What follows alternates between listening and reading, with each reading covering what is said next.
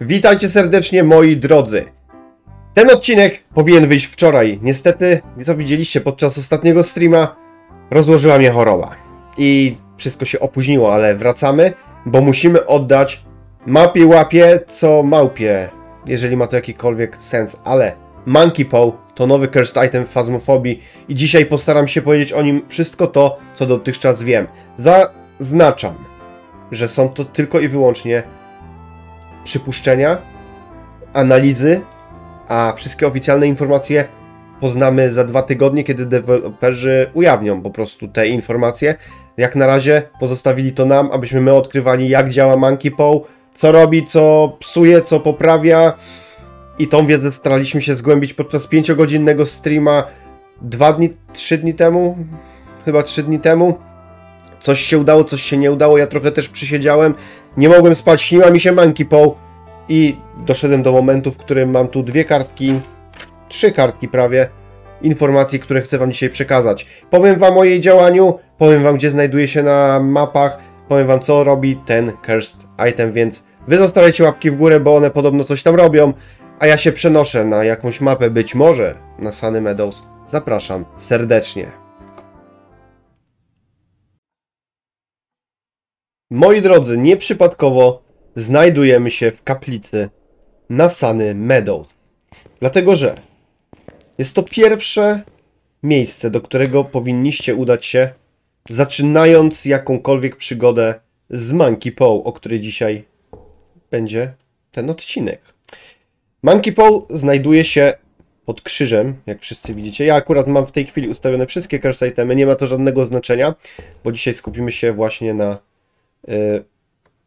naszej nowej łapce, naszej małpiej łapce. Duch gdzieś tam mi przesuwa krucyfiksy, co mi się nie podoba. Małpia łapka, która ma tu napisane Monkey Paw, I wish the ghost would do something. Jest to łapka, która spełnia życzenia.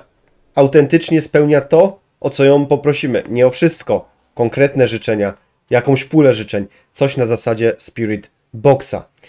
Każde życzenie można użyć raz na grę. Skąd wziąć te życzenia? Uwaga! Życzenia można odkrywać. Można odkrywać je właśnie na Sunny Meadows. Przykładowo znajduje się jedno tutaj. Na Sunny Meadows zostały porozrzucane takie oto karteczki. Są one podobne do tych, która, znaczy w zasadzie są takie same jak ta, która została przyczepiona właśnie do naszej łapki. Więc możemy sobie zobaczyć. Monkey Paw życzę sobie aktywności, czyli I wish for activity.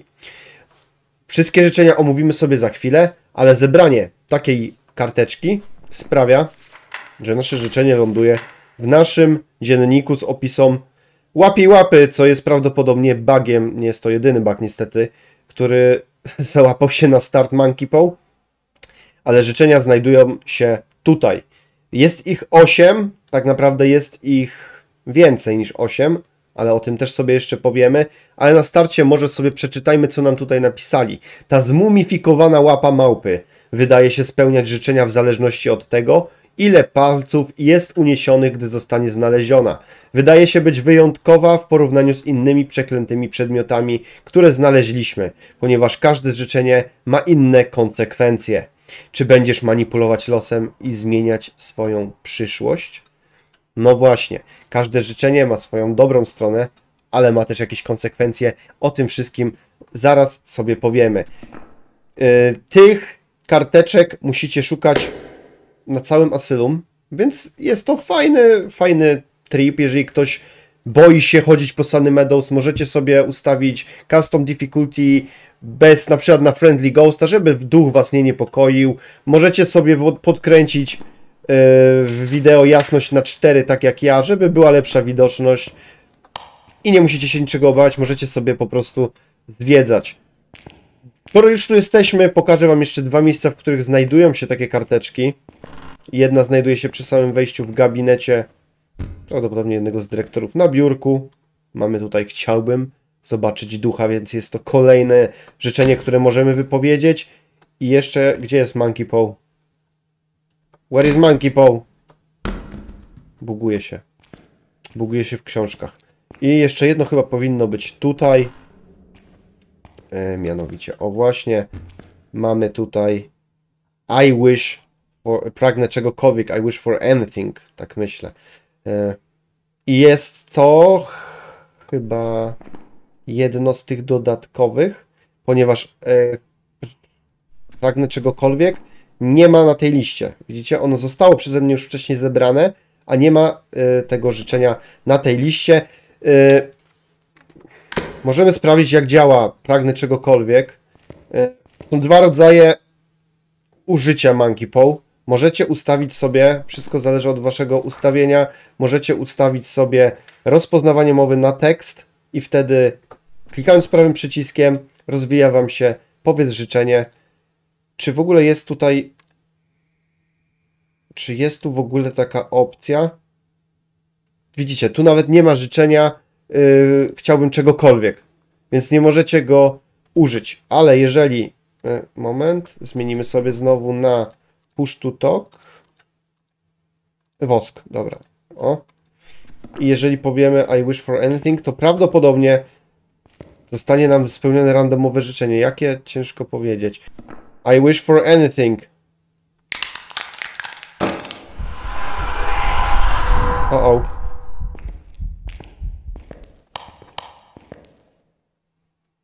O o.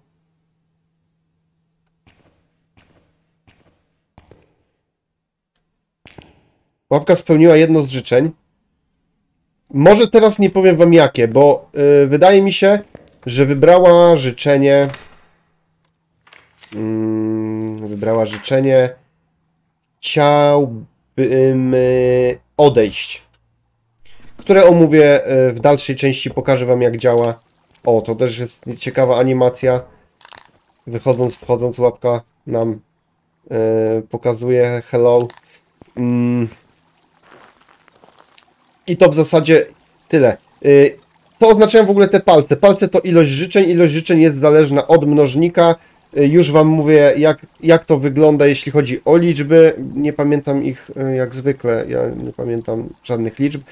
Od, jeżeli macie mnożnik od 0 do 1,9 macie 5 życzeń. Jeżeli macie mnożnik między 2 a 2,9 wtedy macie 4 życzenia i na mnożniku 3 i wyższym macie 3 życzenia do spełnienia, także warto o tym pamiętać, czyli od profesjonala w górę y, dostajecie 3 życzenia na grę.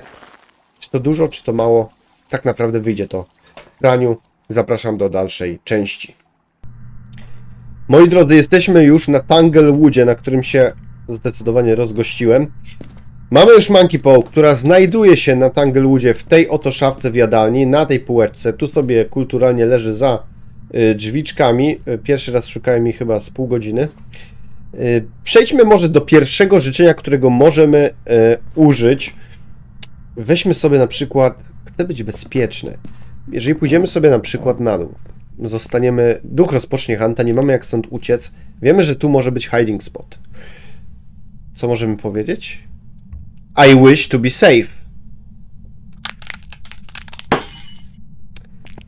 Zgaszono nam światła, ale hiding spot powstał. Proszę bardzo, proszę bardzo. Tak samo, jeżeli mamy jakiś hiding spot zablokowany, możemy go odblokować tym życzeniem. Próbujmy z tym hiding spotem. I wish to be safe. Hello there. I możemy się spokojnie y, schować. E, I wish to be safe y, powoduje po prostu odblokowanie lub utworzenie hiding spota, który powinien być w danym miejscu. Y, działa to mniej więcej na tej zasadzie, tak udało nam się zbadać, że odblokowuje najbliższy możliwy hiding spot i rozwala światła w tym, mm, w tym pomieszczeniu, w którym tworzy hiding spot. Nie do końca wiadomo, czy rozwali światła w pomieszczeniu, w którym się to wypowiadało, a hiding spot może stworzyć w innym. To jest jeszcze do zbadania, ale nie jest to chyba kluczowe i istotne. Y, co y, ważniejsze, nie, nie niszczy nam w ogóle sanity, y, co możemy sobie nawet sprawdzić, bo jestem tu raczej na 100%, więc jeżeli wrócimy do Vana, możemy zobaczyć, że nasze sanity jest tak naprawdę nietknięte. Bardzo proszę. 100%. Więc nie kosztuje nas to tak naprawdę nic, poza tym, że w danym pomieszczeniu tracimy światło. Pamiętajcie, możecie użyć tego tylko raz na grę, więc wybierzcie, czy chcecie na pewno zmarnować swoje życzenie na I wish to be safe. Jedna mała wstawka jeszcze a propos życzenia I wish to be safe, ponieważ o niej nie powiedzieliśmy. W momencie, kiedy wypowiadam życzenie, pojawia nam się lub odblokowuje hiding spot, rozwalane są światła w pomieszczeniu. Dzieje się jeszcze jedna ważna kwestia, mianowicie duch zyskuje, nazwijmy to, turbomoc i słyszy i nas wyczuwa z dużo większej odległości. Do końca nie wiemy, jaka jest to odległość, ale prawdopodobnie nasze działania zostają rozrzucone na całą mapę. Co to oznacza w praktyce? Jeżeli jesteśmy na Tanglewoodzie, w Boys Bedroomie, zaraz przy wejściu, duch jest w piwnicy, będzie słyszał nasze dźwięki, mimo że standardowo duchy słyszą chyba z 10 metrów, oprócz oczywiście Yokaja, bla bla bla, to duchy będą nas słyszały na całej mapie. Będą wyczuwały posiadane przez nas w rękach y, latarki, aparaty i cały sprzęt elektryczny. Warto o tym pamiętać, żeby nie dać się y, nadziać i wpuścić w maliny. Wracamy. Następne życzenie, którego możemy użyć, to życzenie aktywności ducha. Co się stanie, jeżeli poprosimy o aktywność? Zobaczcie sami. I wish for activity. Boom. Co się wydarzyło? Duch zamknął drzwi wejściowe. Są nie do otworzenia, nie do otwarcia raczej. E, z tego co mierzyliśmy podczas streama, jest to czas zamknięcia to 120 sekund, czyli 2 minuty. W tym czasie duch staje się bardziej aktywny, jego aktywność zostaje zwiększona. Do jakiego stopnia do końca nie wiemy. Tutaj na razie nic nie słychać, aby był aktywny, ale co jeszcze bardziej istotne, teraz dotknął drzwi, zniszczył i dotknął kolejnych drzwi, więc wiemy, że jest gdzieś tutaj.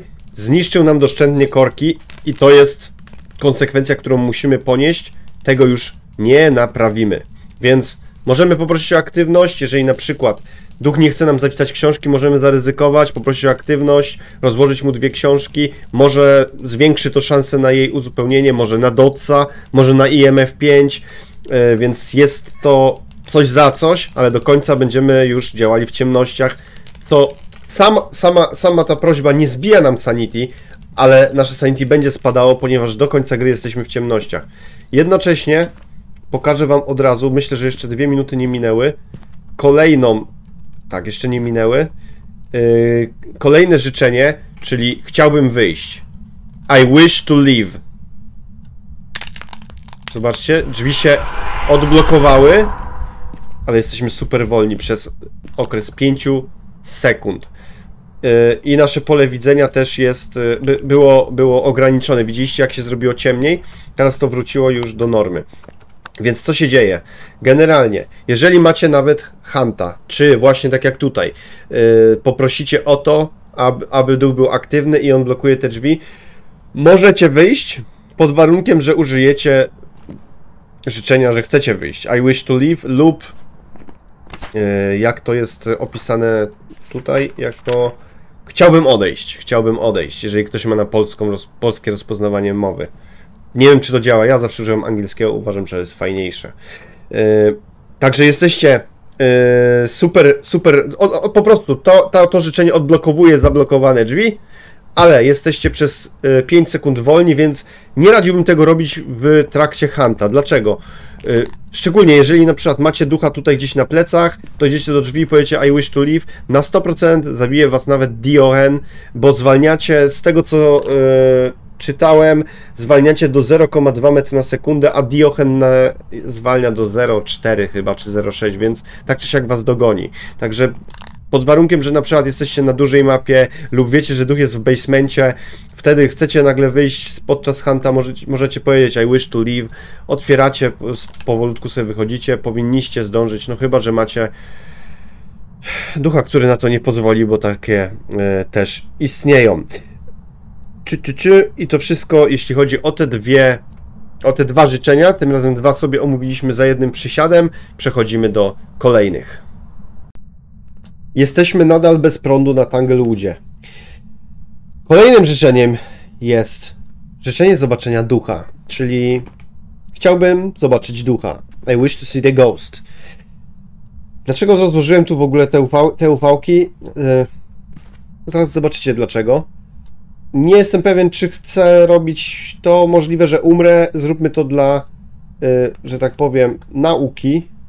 Tylko musiałbym odzyskać łapkę, a nie wiem, gdzie ona jest aktualnie.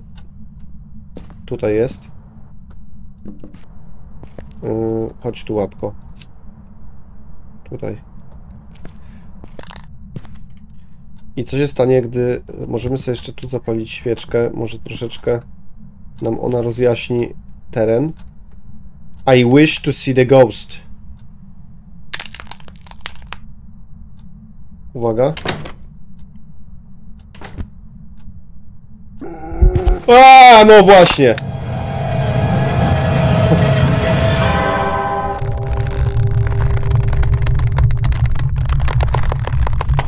Co się w zasadzie wydarzyło? Co się w zasadzie wydarzyło? Nawet nie było nic widać ani słychać. Dlaczego? Bo podczas tego, y, tej prośby tracimy zmysł widzenia i zmysł słuchu. Stajemy się głusi i ślepi. Y, dodatkowo, duch robi Ghost Event w stylu Summoning Circle, czyli przez 5 sekund stoi i nam się pokazuje. Możecie zrobić zdjęcie Mm, wskoczymy sobie z powrotem na Tanglewooda, spróbujemy zrobić to raz jeszcze. Tym razem może z włączonymi światłami, będzie troszeczkę może łatwiej, może nie. Więc yy, generalnie tworzy, tworzy się efekt Summoning Circle, po czym duch przechodzi do Hunta, tak jak po Summoning Circle. Przy użyciu samego życzenia nie tracimy Sanity, co jest istotne. Chyba, że wejdziemy w ducha podczas tego Ghost Eventu, tego nie testowaliśmy. Być może. Y, weźmy sobie szybko, weźmy może smadża, może nam się uda jakimś cudem mu uciec. To wątpię. Bo jest to naprawdę no turbo ciężkie. Turbo ciężkie, tym bardziej, że wasze zmysły po prostu nie działają. Fajnie jakbyśmy mieli na przykład hiding spot tutaj. Nie mamy. Ale możemy mieć. Możemy mieć, dlaczego nie? Proszę bardzo. Zaraz mieć będziemy. Bone.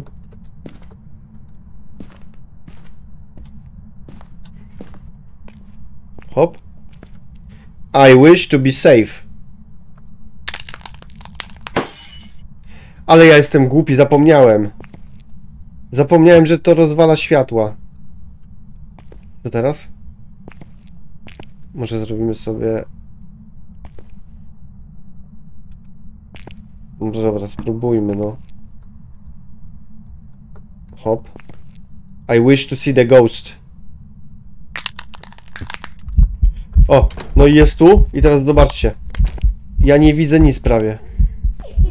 O nie, jeszcze szybki jest. No to dętka. Chyba, że smacz. A, nic nie widzę.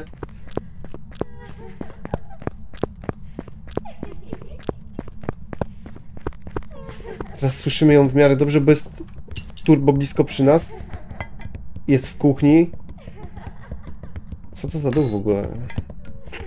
Wariat.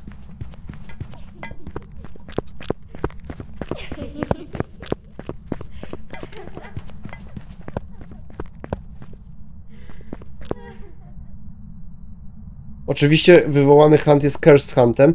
Widzicie? Nasza, nasz wzrok wrócił do normy po tym Cursed Huncie, w którym mamy ograniczone pole widzenia, yy, następuje yy, powrót do normalności, tak? Yy, tracimy zmysły wzroku i słuchu, tak? Słyszymy gorzej, widzimy gorzej, więc trudno jest na przykład lupować tego ducha, bo nie słyszymy, czy on robi y, zwroty, że tak powiem, przez sztak, czy się odkręca w drugą stronę. Ciężko jest to po prostu zweryfikować. Także to by było Kolejne odhaczone życzenie. Czy mamy jakieś, które możemy od razu sobie polecieć? Yy, chcę wskrzesić mojego przyjaciela, o tym mogę powiedzieć. Tego nie przetestujemy akurat w tej chwili, aczkolwiek jest to bardzo proste. Mm, jeżeli gracie multiplayera, możecie wskrzesić umarłą osobę. Yy, z tym, że aktualnie jest to popsute, jest to potwierdzone przez CJ'a. Powiedział maybe, yy, zapytany o to, czy yy, to nie działa tak jak powinno. Nie działa dlatego, że hosta, hosta pokoju na multiplayerze nie można wskrzesić, jeżeli host umrze. Może, albo może jest tak, że host tylko może. My to testowaliśmy w dwójce, więc kiedy ja umarłem jako host, to mnie mój, mój współgracz nie mógł wskrzesić, a kiedy mój współgracz umarł, to ja mogłem go wskrzesić, więc tak to mniej więcej działało. Później zamieniliśmy się, on był hostem i kiedy i on umarł, ja też go nie mogłem na jego roomie, na jego lobby też go nie mogłem jakby wskrzeszać, więc to na razie jest popsute, pewnie wyjdzie zaraz e, jakaś łatka. Oczywiście nie działa na single playerze, to jest oczywiste, jak sobie weźmiecie łapkę, to ona wam pokaże taką fajną animację która oznacza generalnie, że łapka was zrozumiała, ale nie może wykonać tego życzenia. I wish for life. Boom. I nic się nie dzieje. I jeszcze co ważne, na ten moment nie jest to oczywiście potwierdzone, yy, ale podobno jest 50% szans na to, że uda nam się przywrócić kogoś do życia lub oddać nasze życie za jego, czyli to akurat e, też nam się udało przetestować podczas e, streama na Twitchu, e, że kiedy raz wskrzesiłem mojego współgracza, sam umarłem, więc podobno są na to 50% szans, że może być samo wskrzeszenie lub wskrzeszenie z poświęceniem. Czy są jeszcze jakieś inne parametry? Na razie na ten moment tego nie wiemy. Jeżeli jakieś odkryjemy, na pewno tą informację zupdate'ujemy. Jednym z ciekawszych życzeń, jakie mamy dostępne i wydaje mi się jednym z najbardziej niebezpiecznych, jest życzenie o wiedzę, czyli I wish for knowledge, który zaraz Wam pokażę, niesie ze sobą turbo konsekwencje. Uwaga. I wish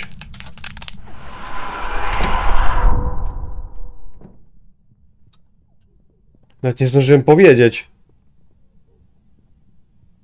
Usłyszało, że wcześniej powiedziałem i przy aktywacji głosowej się uruchomiło.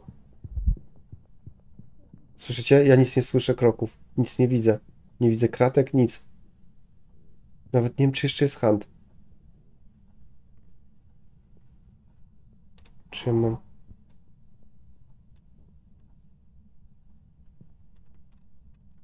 Dobra.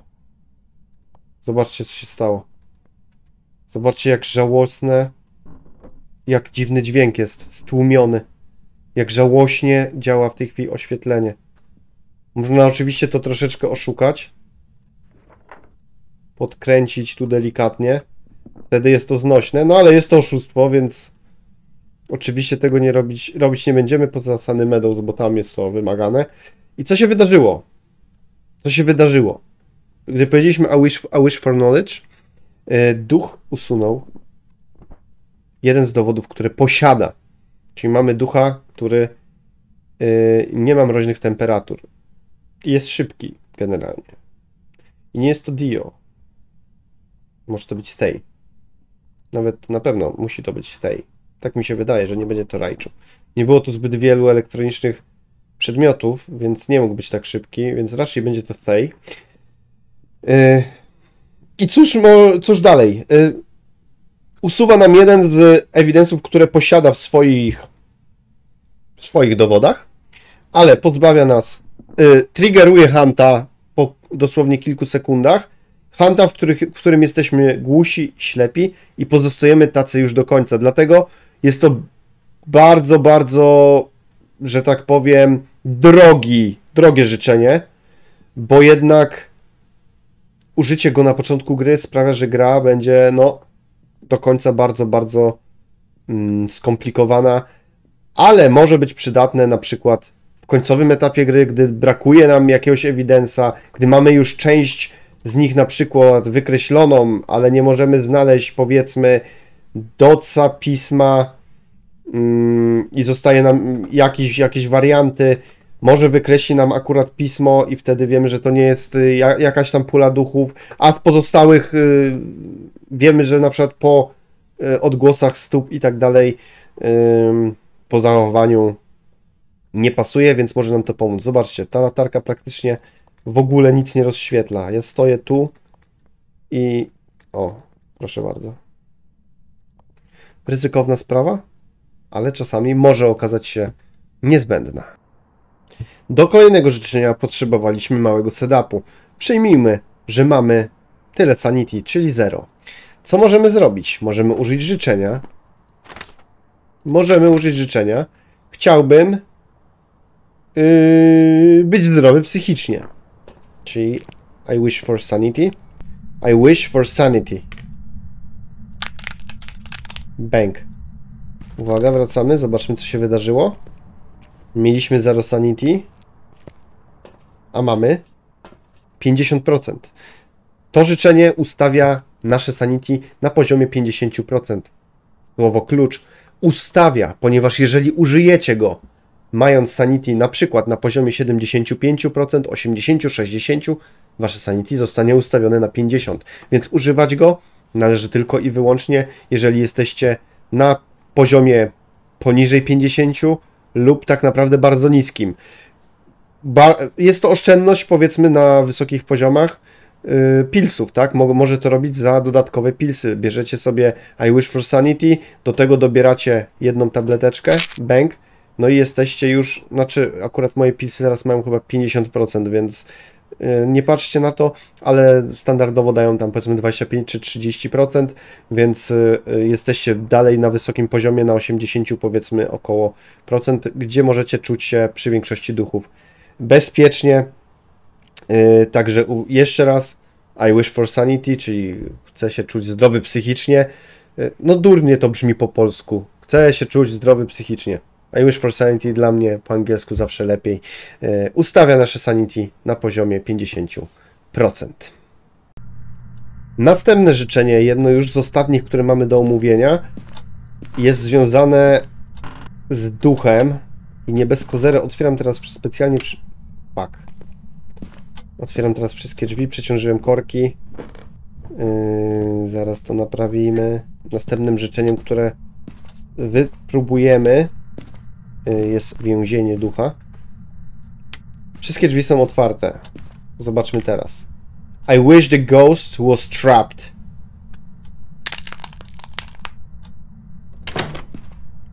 Zamknęły się drzwi wejściowe. Nie mogę ich otworzyć. Zamknęły się też te drzwi. I duch zostaje uwięziony w swoim ghost roomie. Nie możemy tam wejść. Jeżeli zamkniemy się razem z nim, nie możemy wyjść z tego pokoju, więc trzeba uważać. E, do końca nie wiem, czy działa to prawidłowo, ponieważ zdarzyło mi się e, całkiem chwilę temu, testując pewne kwestie, że Ghost Room był właśnie tutaj, a ja wypowiedziałem to tutaj i zamknęło mi też te drzwi. Zamknęło mi te drzwi i zamknęło tamte. Nie wiem dlaczego, nie rozumiem. Co się wydarzy zaraz? Mm, duch zamyka się w Ghost Roomie na 60 sekund i za moment y, po 60 sekundach się odblokuje i nastąpi hunt. Tu mamy hiding spota, w razie czego. Więc sobie możemy to zobaczyć jeszcze. Z tego co wiadomo, nie zabiera to nam w ogóle w ogóle sanity. Tak jest. Minęło 60 sekund. Duch odblokował drzwi i zainicjował hanciora. Hello. Wow. Ogólnie gra się mrozi. Gra jest troszeczkę zdestabilizowana znowu. Ok. Mamy, mamy po. E, więc jeżeli macie jakieś ścinki, frizy, nie przejmujcie się tym, nawet na turbo sprzętach ludzie mają to samo. E, jakieś dropy są, prawdopodobnie wyjdzie, wyjdzie poprawka do tego i wszystko powinno działać tak jak e, należy. No jest dodane znowu dużo interakcji z tą nową łapką, małpią łapką, więc mm, gra się troszeczkę zdestabilizowała. Sam też jak widzicie mam jakieś, jakieś dropy, jakieś skoki dziwne, które nie są kompletnie z winy mojego sprzętu czy czegokolwiek innego. Nie wiadomo jest y, jedynie, co się może wydarzyć w sytuacji, kiedy duch y, zostaje, jest, jest na przykład uwięziony, znaczy inaczej, jego, ghost room jest w polu, w salonie lub tutaj w kuchni, w jadalni. E, Teorii na razie jest kilka. Ja naocznie spotkałem się w ostatnim, e, e, w jednej z nagrywek też z, z sytuacją, w której duch był w kuchni, bo poprosiliśmy o activity i tam rozrabiał i jak go chcieliśmy jednocześnie uwięzić, to zamknął mi tylko frontowe drzwi. Więc y, być może to jest, są drzwi do kuchni, chociaż jest to nielogiczne. Z drugiej strony widziałem sam też na własne oczy sytuację, w której duch był w pojerze tutaj i zamknął te drzwi, te drzwi i te drzwi. Trzecia sytuacja, o której już wspomniałem, duch był w tamtym pokoju, a zamknął tamte drzwi i te drzwi. Także ciężko powiedzieć. Myślę, że też jeszcze tutaj są błędy i są e, kwestie do naprawy. Mm, I na tym na pewno się deweloperzy skupią w najbliższych dniach. Kolejną ciekawostką, którą daje nam łapka, a której nie ma e, bydy, bydy, nie ma wypisanej tutaj, ponieważ omówiliśmy już wszystkie 8 yy, życzeń, jest zmiana pogody. Uwaga. Tu mamy akurat chyba clear weather, bo tak się chyba ona nazywa. A co jeżeli zrobimy tak? I wish for sunset.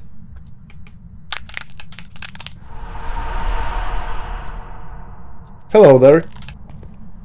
I mamy sunset. Możemy tak samo poprosić o snow, o rain, i tak dalej. O clear weather chyba tak samo możemy poprosić. Więc generalnie możemy zmienić pogodę za pomocą łapki. Pamiętajcie, że możecie zmienić raz, nie możecie drugi raz poprosić. Jeżeli może zademonstrujmy, żeby nie było. I wish for the rain. I wish for rain. Widzicie?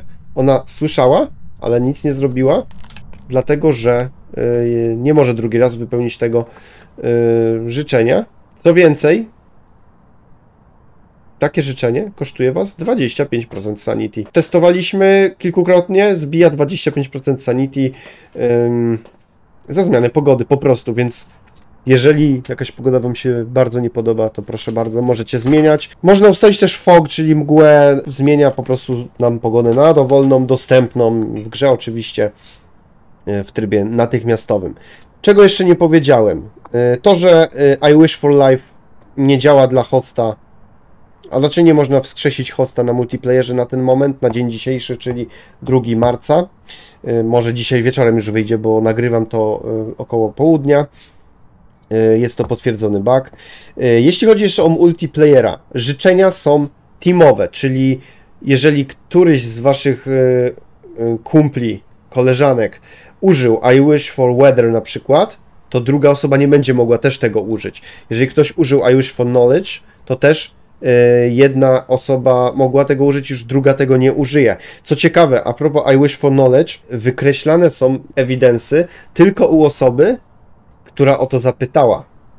Czyli ta osoba, jeżeli umrze, to niestety trzeba ją uratować w jakiś sposób, albo ją wskrzesić, o ile nie była hostem, albo zapewnić jej bezpieczeństwo podczas tego hunta, bo tylko ona też, nie wszyscy, ma e, ograniczone zmysły, tak? Wzrok i słuch podczas tego hunta, który jest wywoływany po I Wish for Knowledge. No i w zasadzie do końca gry już e, z tym się, z tymi problemami wzrokowo-słuchowymi będzie się borykała. Podobnie w sytuacji z I Wish to Leave, czyli sytuacją, kiedy chcemy odblokować te frontowe drzwi, E, kiedy powiemy I wish to leave, to jesteśmy spowolnieni na 5 sekund, tak? I też ta wizja się robi na chwilę taka średnia.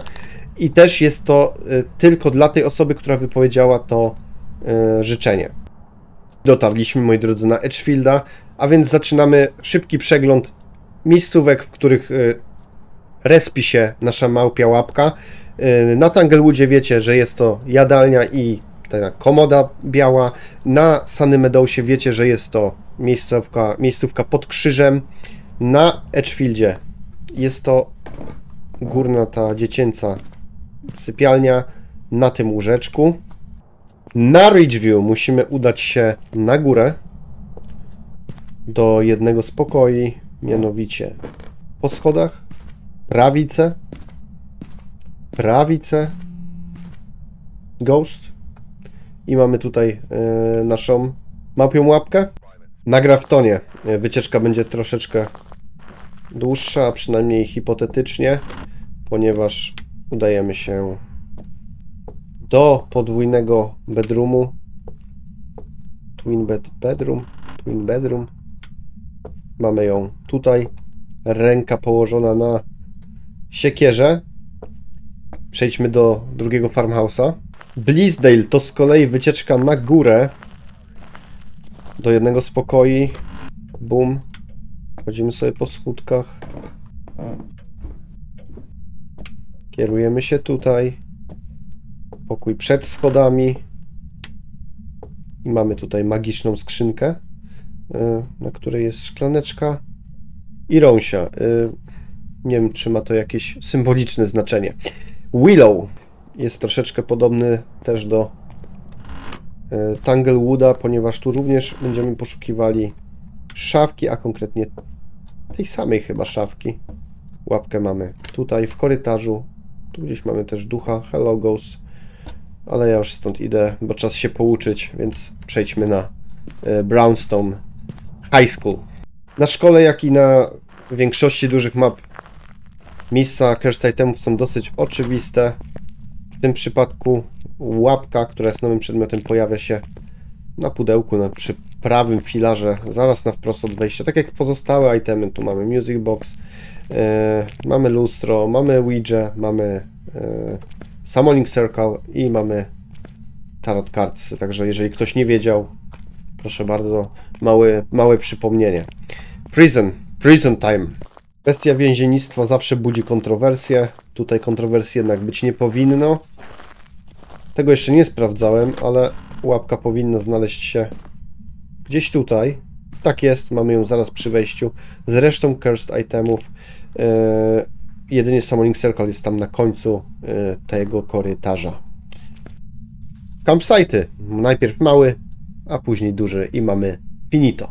O ile z Woodwindem, czyli mini campsite'em kłopotów nie ma, ponieważ mamy wszędzie blisko i łapka dobiera się do marshmallowów, o tyle główny campsite to jednak już troszeczkę wycieczka, ponieważ musimy przejść od wejścia, udać się w kierunku naszej chatki puchatka. A Monkey Paw umieszczona jest na samym końcu pomostu, na odpoczywa sobie po ciężkim dniu na leżaczku przy masce Jasona. Proszę bardzo, Monkey Paw. I wish for sunset. Proszę bardzo.